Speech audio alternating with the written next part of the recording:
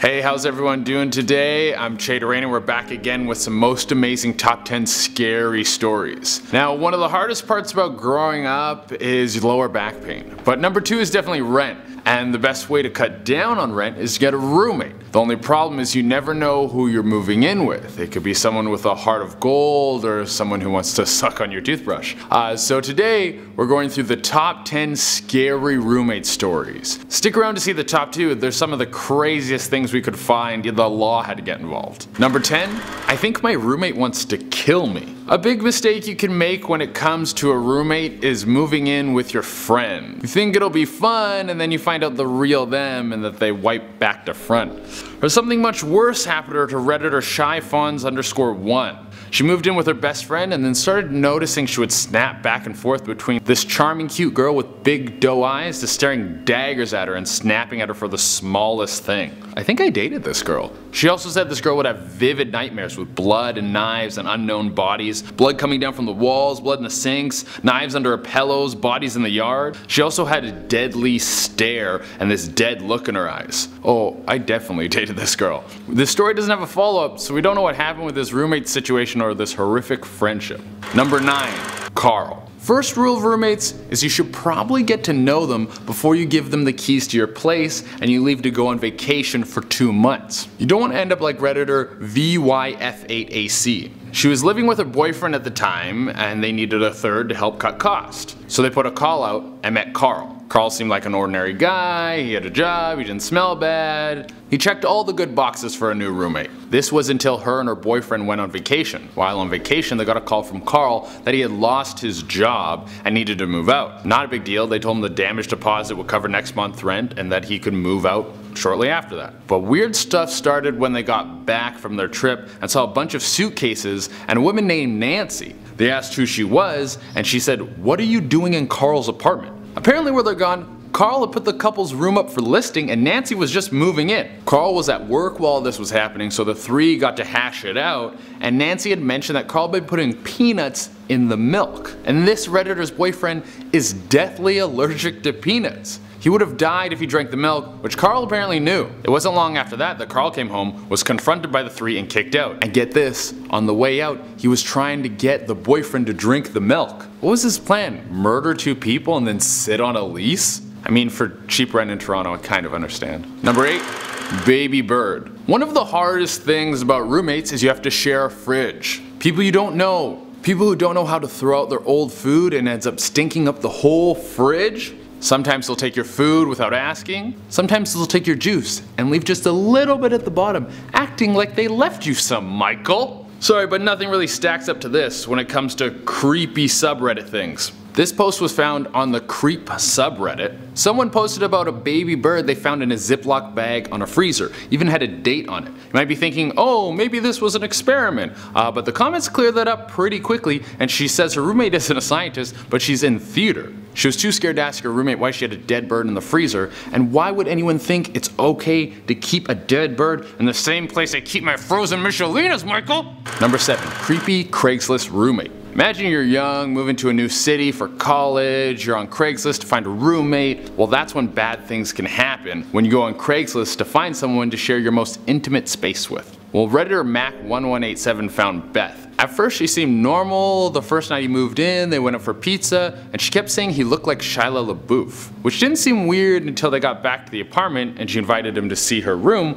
which was plastered with posters of Shia LaBeouf. After this he almost never saw her. He would only hear her giggling from her room and occasionally she would stand in the hallway and just stare at him. One night, Beth was drunk and stumbled into the living room. She started telling our friend from Reddit the story of her ex-boyfriend, which got her very worked up and she ended up yelling that she would slit his throat. This obviously freaked him out, so that night when he went to bed, he barricaded his door with a dresser. Later that night, he woke up to the sound of the dresser scraping the floor and Beth trying to break in. He stopped her, she went back to her room, but in the morning, when he walked out of his room, he saw a giant steak knife right outside the door. So he immediately found a new place to live, moved out of there, and the day he moved out, he received 40 text messages from the girl that ranged from how are you to ah, I'm gonna kill myself!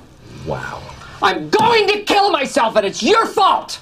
Number 6. The Little Mermaid. Now it can be hard to share your space with say a human, but how about someone who believes they're a witch slash mermaid? Now no one would ever pick this, in fact if you're ever moving in with someone, one of the first things you should ask is what's the worst thing about you? If their answer is I keep a 6 foot mermaid tail in the common spaces and practice witchcraft, just hold out for a nicer place. But this story happens in college, and you get assigned your roommates in college. This poor girl got paired with someone who believes she's a mythical creature. She got permission from the school to swim with her tail in the school pool, so there was always a six foot mermaid tail hanging out like the third roommate. Terrible. You just get to college, you're trying to make new friends, and everyone knows you as the girl who smells like fish.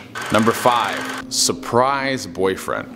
Redditor Hassan Ice Crunch had a terrifying unexpected visitor. She came home one day to find her ex-boyfriend slash ex-roommate in her apartment. He still had a key. He then attacked her, grabbed her, and locked her in a room with him. The worst part about this is her other roommate saw this happening and just got scared and hid in his room. He didn't call the police, he didn't try to help. Not cool bro. She was able to escape later once her ex fell asleep and then quickly went to the police and also got the locks changed. Also gave her roommate the worst friend of all time award. Number 4.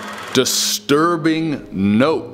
A very common thing with roommates is every now and again you get one that likes to leave you post-it notes about little things they don't like, like don't leave your laundry here, empty the dishwasher, stop watching me sleep. Well this one is creepier than all of those. On the creepy subreddit, we found someone who posted a pic of a note left by a roommate and the note said, the devil loves you.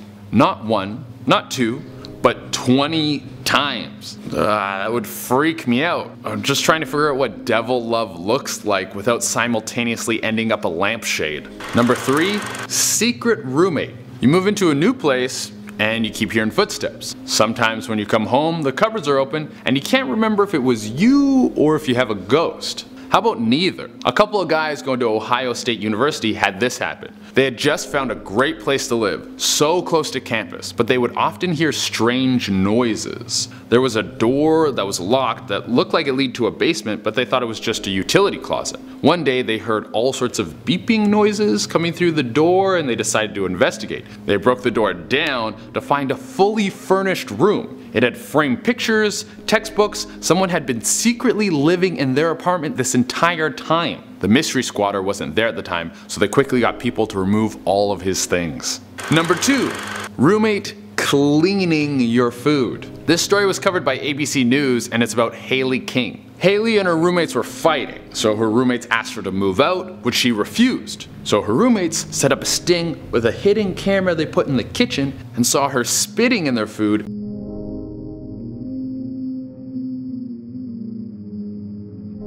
and pouring Windex in it.